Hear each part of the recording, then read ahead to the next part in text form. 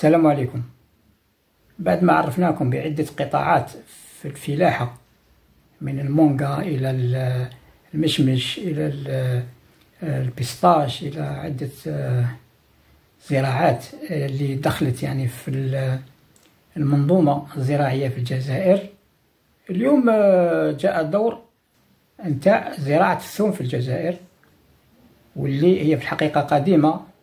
تعود إلى السنوات الأولى للاستقلال لكن في الآونة الأخيرة عرفت آه، نمو آه، غير مسبوق حيث أن فيه استثمارات كبيرة آه، من طرف الفلاحين وكذلك مستثمرين وخاصة يعني بعد السياسة تاع الدولة اللي منحت قروض للفلاحين وللمتعاملين في الموضوع.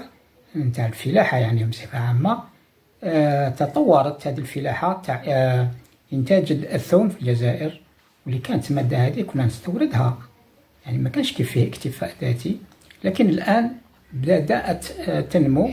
نخليكم تعرفوا بعض التجارب من هذه الفلاحة في ولاية ميلا إذا أترككم تتابعون والسلام عليكم.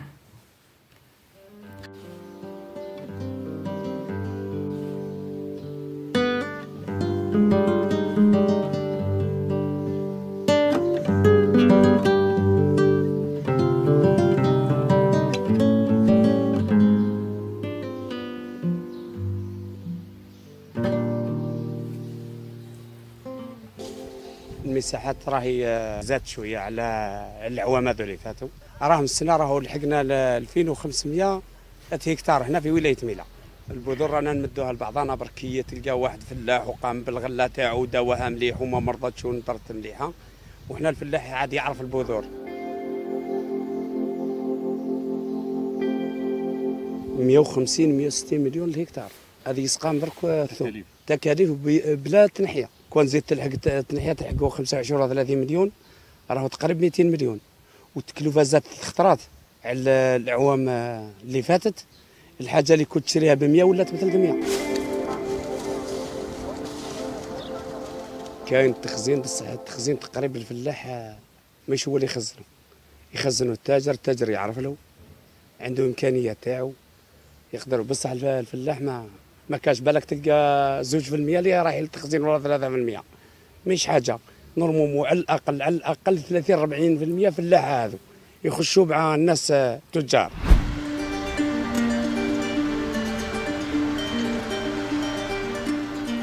باش نطوروا يعني هذه الشعبة تاع الثوم لابد أن يعني ندخل المكننة الفلاحية في هذه الشعبة. لأن اليوم اليد العاملة مفقودة. لولا يعني يد العاملة تاع الأفارقة اللي موجودين بالآلاف في هذه المناطق يعني ربما يعني الفلاحين ما يسيبوش اللي آه، يجني لهم واللي يقلع لهم الثوم. لذلك الفلاحين يعني طوروا آلة تقليدية يعني هي اللي تقلع كما رانا نشوفوا الثوم ولكن الآلة يعني آه، اللي ربما تقلع وتربط الثوم يعني السعر تاعها غالي.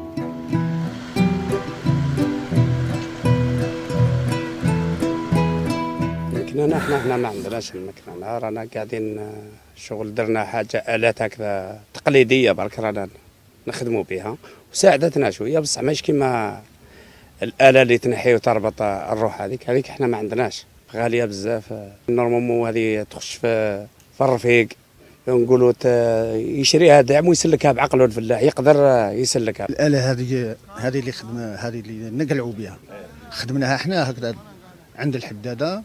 اليد العاملة لو كان ما كانش هذو لو كان ما نقلعوهش خلاص. ربي والأفارقة هذو راه نحاو علينا غلبة. راهو يخدم ب 80000 القنطار 800 فرنك الكيلو. دخلوا 400 500 600 وكاين اللي يصور مليون. تاعنا شوف يجي يخدم لك ساعتين يروح. من ساعتين ما يروحش يجيك على الستة السبعة الثمانية لازم يكون في الدار. يصور الجري تاعو خفيف يروح. وحنا الثوم هذا راهو لازمك تحاربه ولازم تنحي سينو يرشى في الأرض.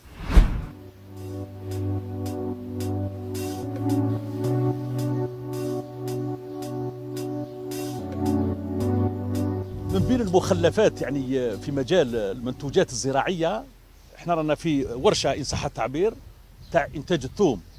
ولكن كما شفنا الفلاحين عندما يقصوا الثوم تبقى هذه المخلفات نستغلوها كعلف يعني للحيوانات للأغنام للأبقار. نشوفوا مع سي فريد يتكلم لنا يعني على يعني كيفاش الفكرة هذه كيف التخزين كيفاش راهم يقصوا في في الثوم. نشريو كميات كبيرة. نلحقوا حتى 30000 قنطار. نحطوها التجفيف. كما راك تشوف لهنا التجفيف. تقعد حوالي 20 يوم حتى لشهر. ومن بعد نبداو نقصو. ومن بعد ايامات يزيد قد ما يتجف مليح. نزيد نوليو نوليو نيطويوه كيما هكذا نيطويوه نديروا له عمليه تنظيف. نزيدو نحيو له القشور هذه؟ كيما هنا هذاك موس هو راه brut هنايا. تقريبا تقدر تقول brut مازال ماشي منظف. نزيدو ننظفوه. نعدلوه مياه. نحيو له الحب الرقيق. نحيو له الشوائب هذيك. نحيوها له كامل ونعدلوه. يزيد ينجف مليح. ندخلوه لغرفه التبريد. الفضلات هذه بعد نخليوها تجف مليح إيه؟ ونربطوها إيه؟ ونبيعوها أصحاب الأعلاف. ها ها الأعلاف مليحة مليح مليحة بزاف. فائده كبيرة. آه فائده كبيرة. فيها الثوم فيها ربما بقايا تاع ادوات ادواء الغرف التبريد من تخدموا مع مع هذه مؤسسه كعواش في إطار التنظيم تاع سير, سير باراك ولا احكي سير باراك لون لا فيه. هذه آه؟ هذه مؤسسة عريقة قديمة هذه. عندها آه؟ حوالي ست سنين والله. ملي ملي بدأ سير باراك هو بدأ. ومتصينا فائض كبير كما راك تشوف. يعني مساحه أربع هكتارات مليانه مليانه ثوم الله يبارك. هذه كل عام يعني كل عام كل عام هكذا كل عام. كاين ناس يخدموا هنايا ما شاء الله. كاين 150 عامل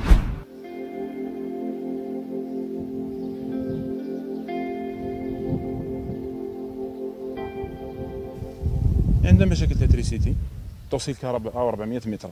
ال dossier عنده أربع سنوات ما كان والو. الماء ما كانش. ما كانش autorisation كي رحنا نشكيو قال لك ما كانش. قال فوراجات واش دير بالماء. مش ثلاث إيه. سويه راهم جاو خرجوا لنا وما كان والو. لا درك جاو شافوا الأرض راهي عرش شافوا القانون تاع كاز 48 ما كان والو. سورتو مشكل كهرباء ها ما كانش. هنا 400 متر. والله ما يتسع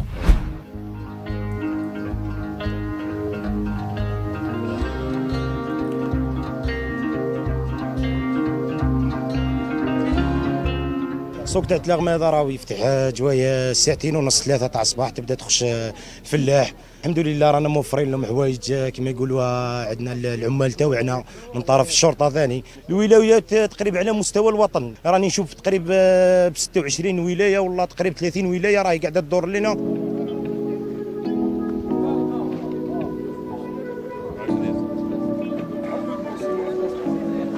ثلاث أيام طلع بعناه ب 14000 اليوم راهم قاعدين يكاسيو فينا. ما بعتوش ب 10000 10000 راه ما خرجناش فيه.